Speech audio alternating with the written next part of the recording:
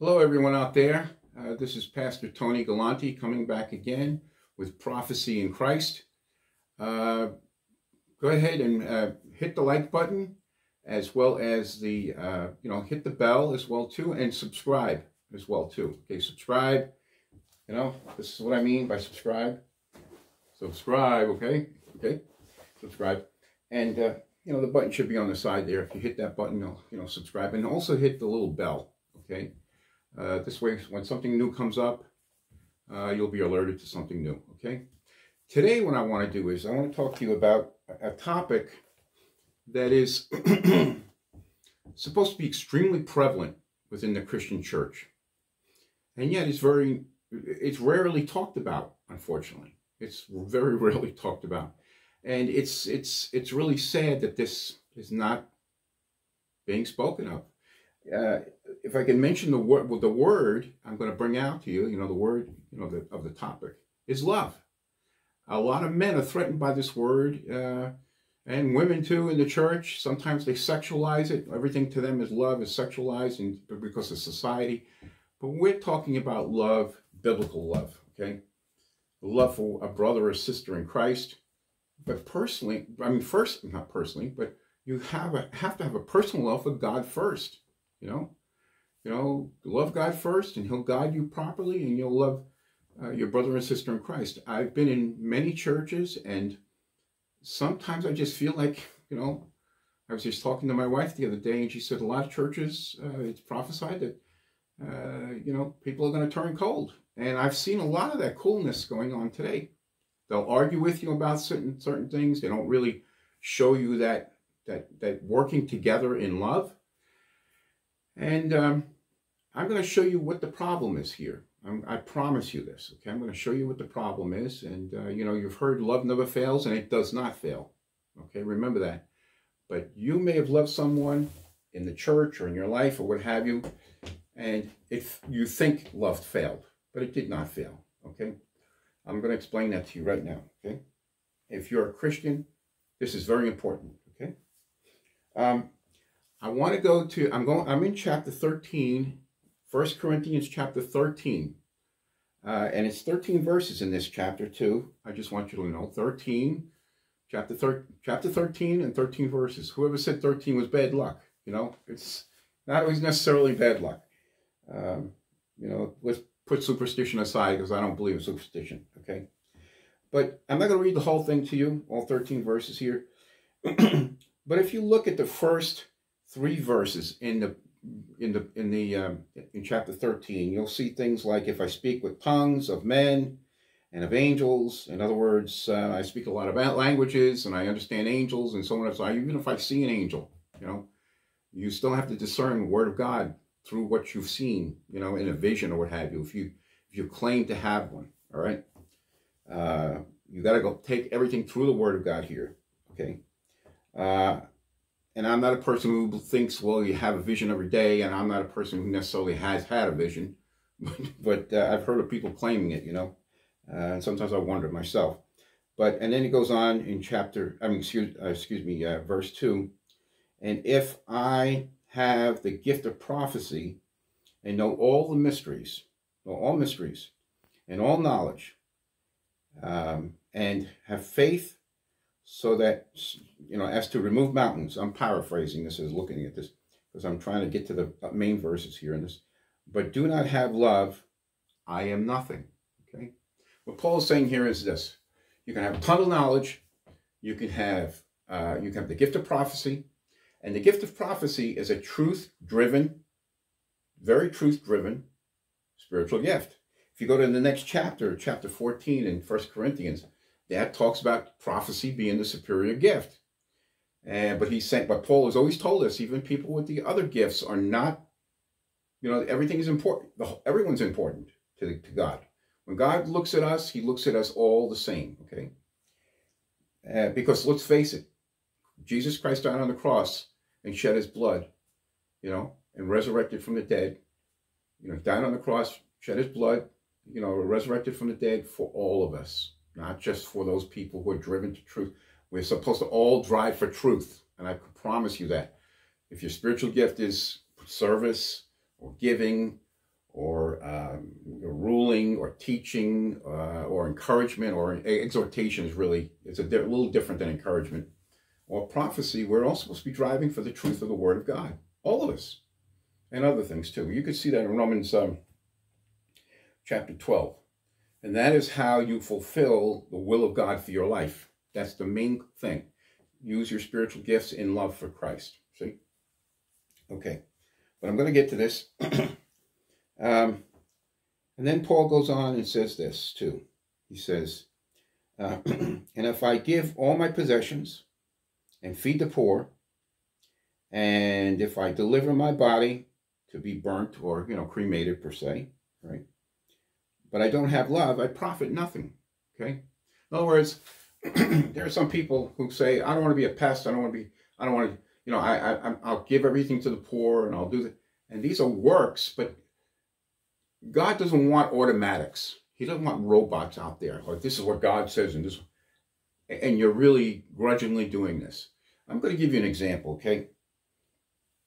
Back in the 60s and 70s, I've heard of people going to missionary trips in other continents, okay? Maybe even in the 40s too. And uh, let's say they went to Africa and they didn't have tea or coffee, right? Let's just say tea for that matter, okay? I have heard literally that people would, in America, use a tea bag, okay? Dry the tea bag out and send the used tea bag to Africa. So the missionaries can have tea.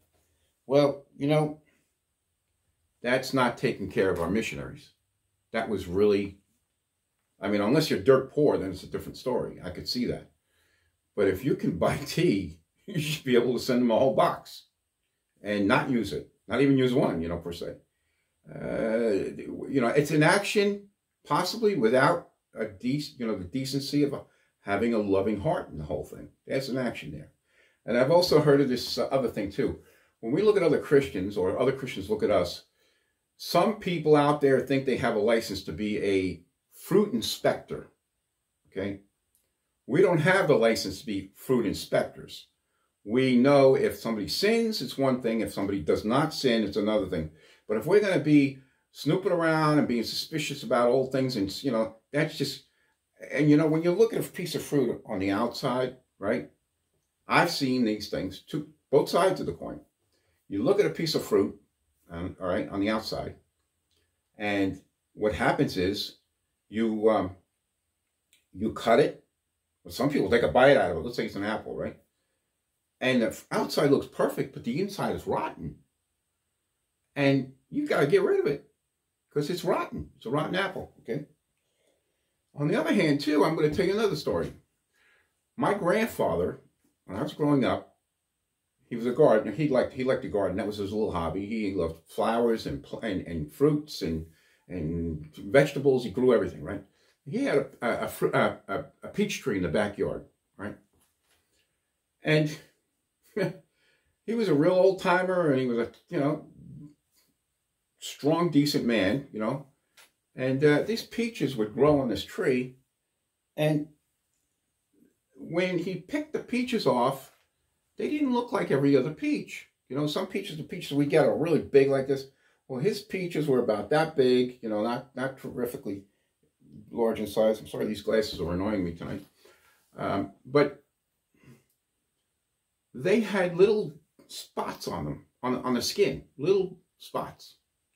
And people in today's day and age, today's society would throw that away and say, oh, it's rotten, it's got bugs in it.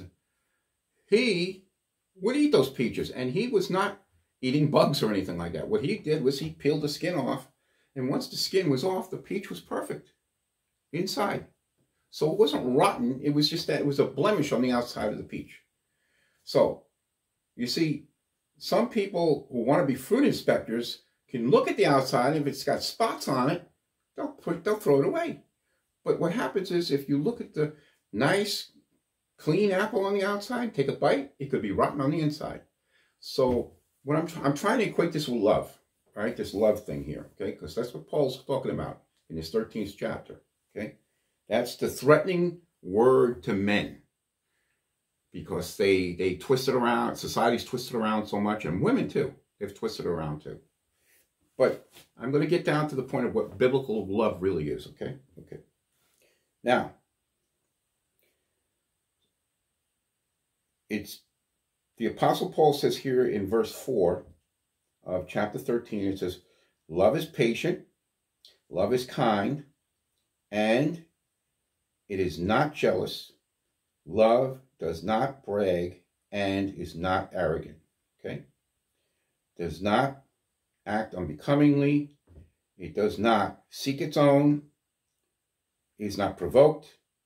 Does not take into account the wrong suffered. Okay? Okay. All right. That's so what's Paul saying here basically, okay? Love is patient. Now, It doesn't mean you go on, you see something wrong and you just let it go and over and over and over. You gotta, you gotta stand up to what's right, you see? But there's only one thing that you test that, whatever you see and whatever you're experiencing against it. And let me explain something to you. You see this kind of love here? Love is patient, love is kind, and so on and so forth. If you're a Christian, the greatest strength you have is to know the kind of love that God has for you. Of course, we talk about the love of Jesus and what God did for us. He shed his blood on the cross for us and so on and so forth and forgive us, forgiveness of sins. He justified us he wrote, when he rose from the dead. And that's showing us love. But you can go to your Heavenly Father anytime and speak to him and speak, you know, and you could speak to Jesus, the Holy Spirit. But, you know, it's better to just go to the whole, to God and just say, look, this is what's on my heart, Lord. Okay? And you can go boldly, okay? Now, the idea here is this. You and I have to put this kind of love in our heart because this is the kind of love, if we have this kind of love in our heart, we are so strong and so powerful for any attack. You know, sometimes people can feel guilt, try to, sometimes people try to guilt you out or try to make you feel like something's not right. And only God knows every little detail. They don't know every detail. Other people don't know every detail of what's happened or what's going to happen. Only God knows what you're going through, okay? And you have to still check that against something else. And I'm going to get to that part too. But you see, that is your greatest power, is to know how God loves you. He's not the kind of God who's impatient.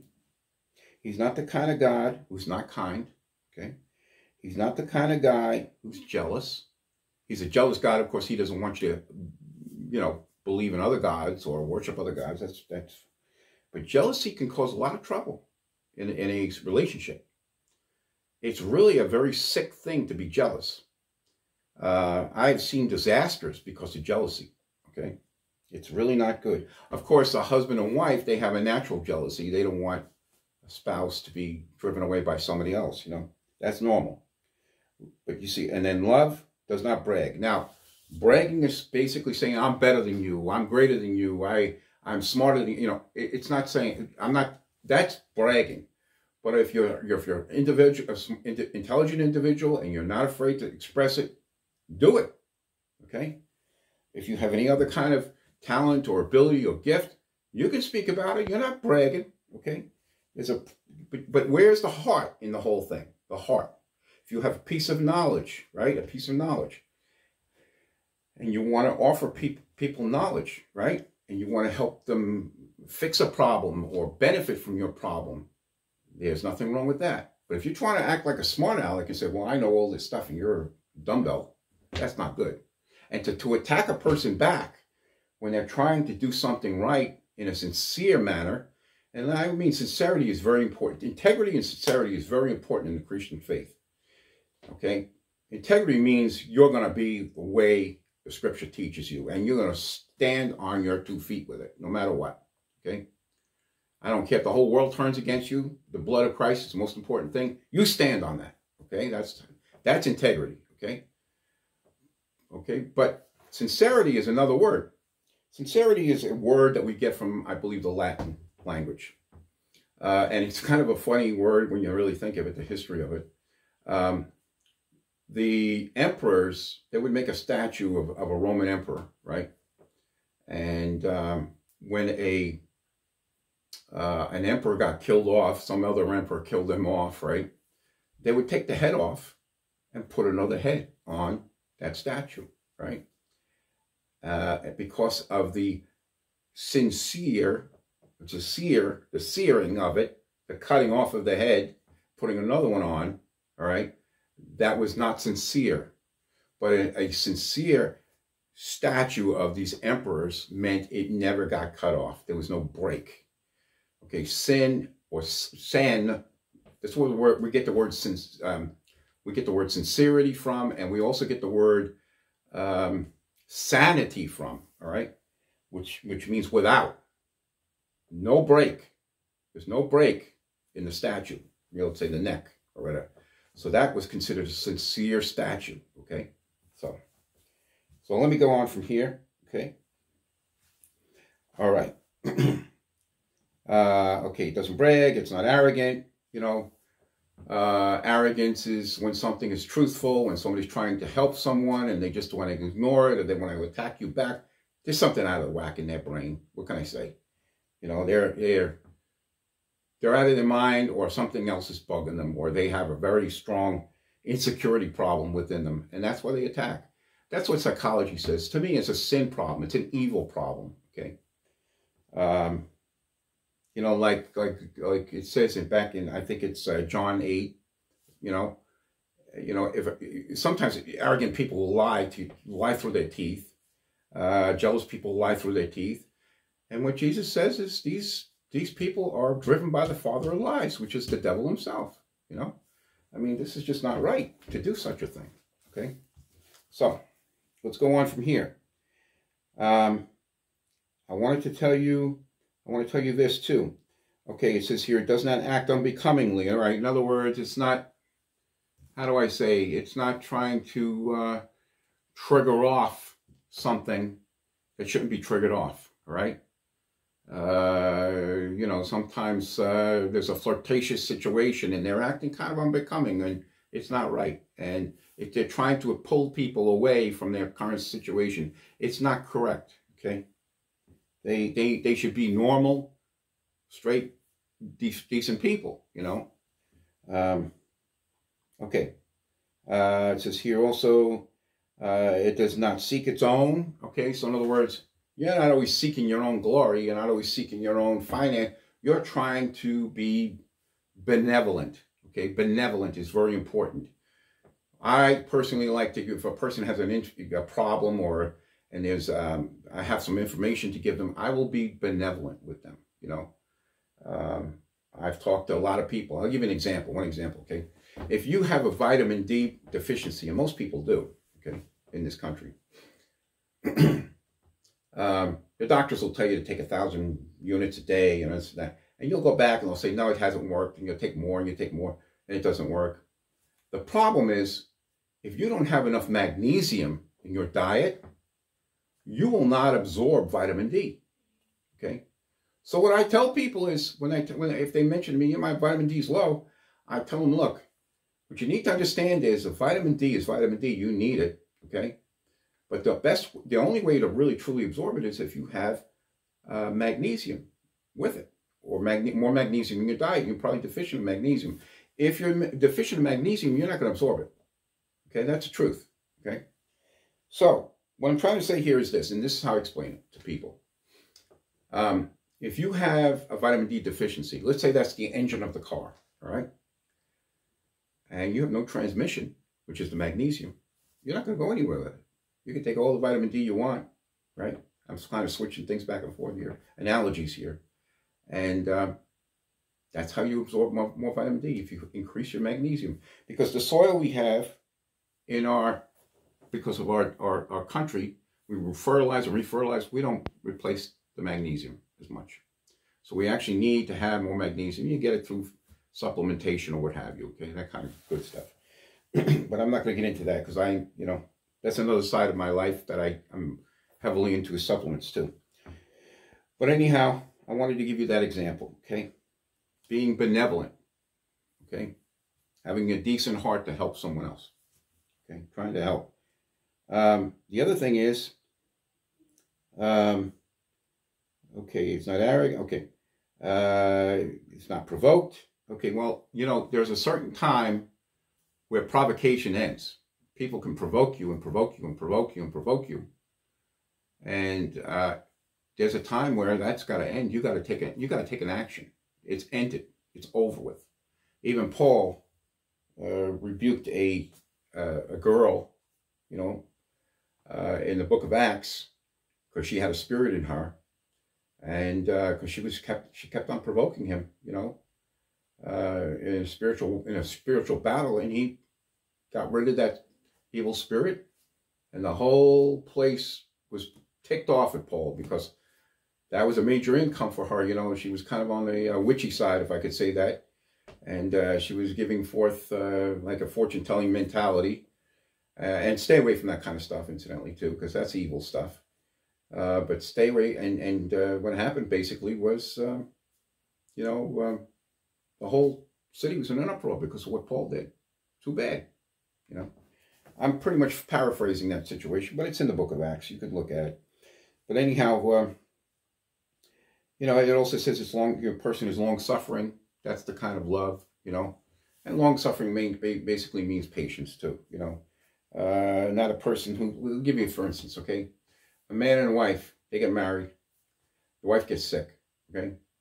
Well, okay, so the husband's got to do extra work, extra, maybe help the kids out more or whatever. He's got to do more, or vice versa too. You know, sometimes the wife. So, excuse me, they're suffering, one suffering.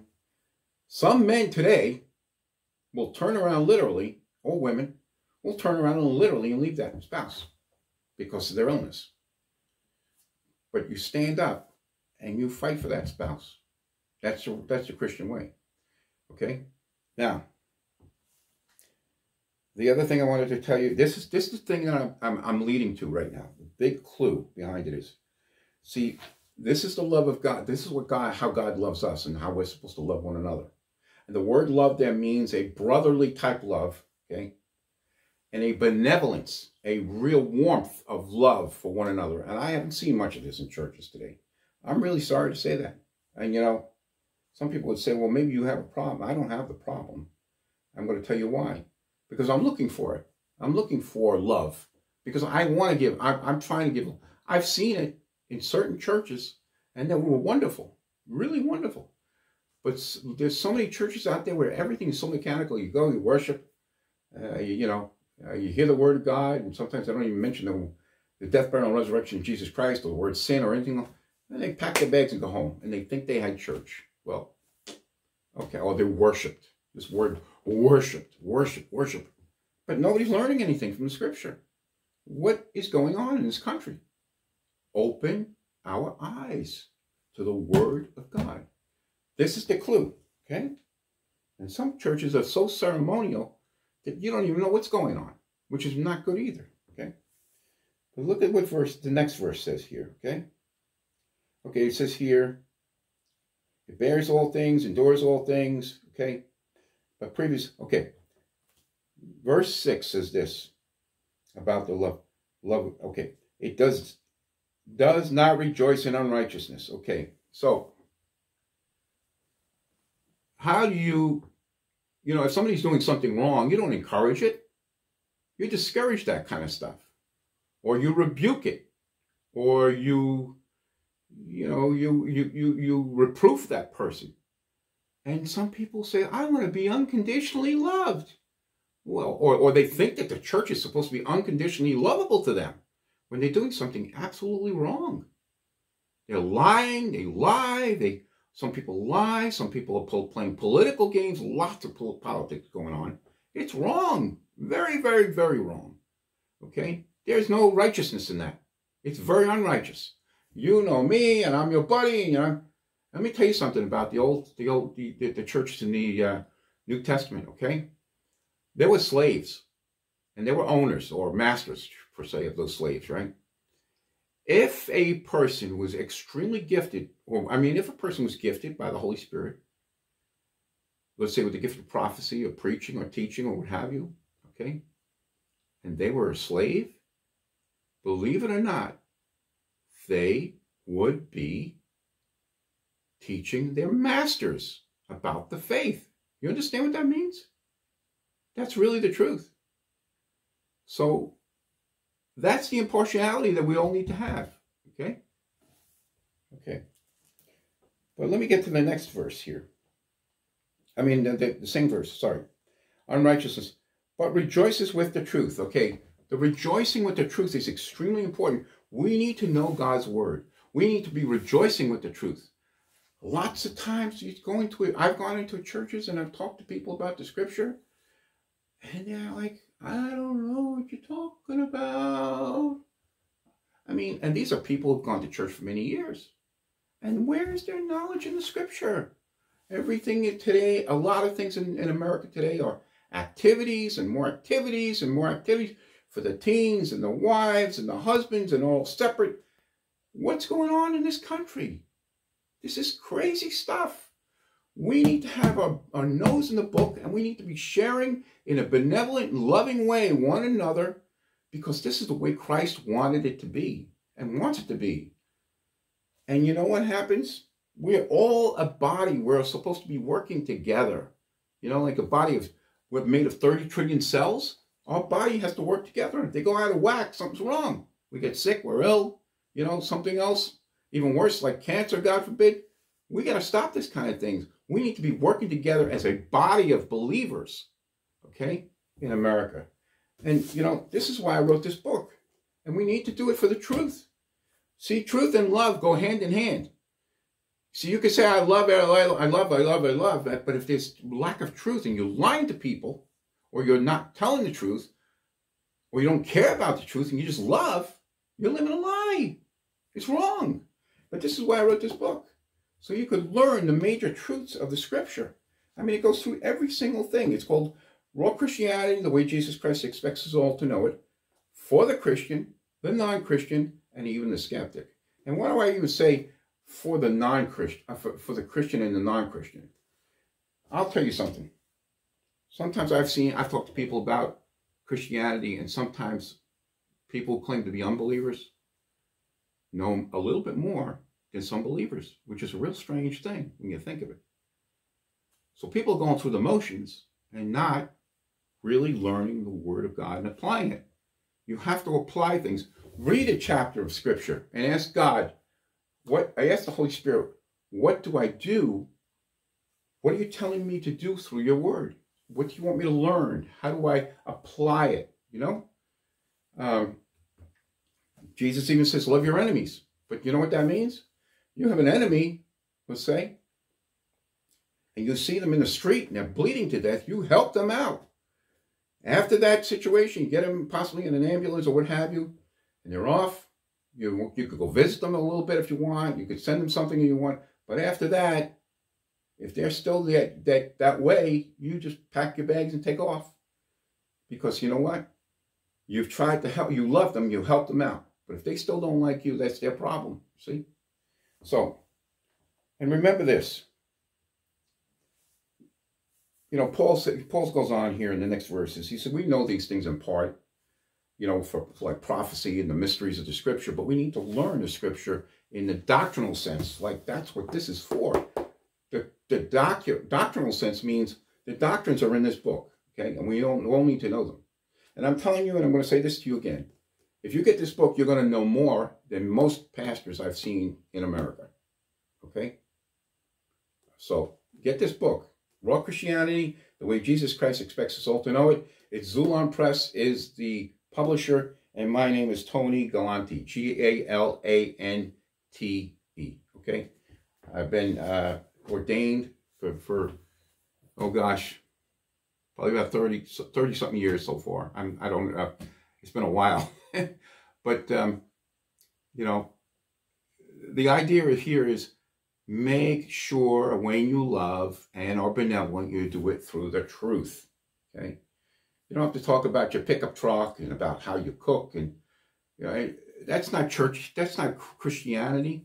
Talk about a Bible verse that was helped you out or showed you something. And you know, some people are going to try to come back at you and compete with you, and that's wrong too. So if they do that, you know, go to the side, go find somebody else. But try to start sharing scripture with each other, okay? Because uh, it really comes down to love, okay?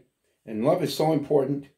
You know, uh, in the last verse of chapter 13, uh, but now abide in faith, hope, love. These three. But the greatest of these is love. Okay? Now, let me tell you what faith means, okay? Faith means we absolutely, this is faith in the Word of God. If you say you have faith in God, you have to know this book. You have to study this book in faith. That's what your faith is in this book. Jesus Christ is called the Word. John 1 1. Okay? Now, the word hope is a different word. A lot of people, it, hope is not a gamble. Like, I hope this is going to happen. You know, people take gambles and they hope they're going to win this and win that, win the lottery or whatever. You know, this wasting money stuff. The word for hope in the Bible is an absolute, it will take place. Like the second coming of Christ is going to take place. That's an absolute. You can use the word hope even being, I'm going to, I, I know in, in the sense of hope, I'm going to be with the Lord because it's an absolute word. I'm going to be with the Lord when I, when I die because I've accepted Christ. You have to have that boldness to be able to understand what it really means to have the faith in Christ. But remember, it's love. Love is the eternal one. Because when everything's gone from this world, love is going to be the only thing that's going to really truly last. Because God is love. Okay? But you have to love God in truth because he's also truth. Okay? He's the spirit of truth. He's the spirit of love. Okay? And this is prophecy because the spirit of Christ is a spirit of prophecy. All right? Okay. I'm going to let you go now. Lord bless you. Uh, again, hit the like button, um, you know, and uh, subscribe. Hit that subscribe button down there, okay? And um, hit the little bell. This way, when uh, when a new a new uh, video comes out, you'll get uh, notified. Okay. Lord bless you, and uh, just keep going for the Lord. Remember, it's the Word of God in your life that's first. Okay. That's how we get to know who God is. Prayer, getting to know who God is, loving God, you know, realizing what He's done for us. If we don't study the Word of God, we don't have a relationship with God. Okay? I've heard people say, well, I don't have to have your book. You know, I've heard people say, you know, it's a relationship. No, you have to know who he is first. If you don't know who he is, you're, from this book, you're in trouble. If I have a key to my house and I show you my key, you can't tell me what kind of sofas I have in my living room, how big my living room is, what my kitchen looks like. You don't have by the key. Okay? You have to have the keys to get in. Opening this book, the Bible, reading it, getting into it, knowing the doctrines of the Bible. So, you know, my, that's why I wrote this book. Then you'll have a very powerful relationship with God. You can't have some flippant thing, okay? We can't have a relationship with God like the skin on top of water. Do you ever fill up a glass of water that's so it's about to drip over, but there's like a little skin on it on the top. We don't want that kind of relationship with God, that little skin. Okay, we want to dive deep into the into the water.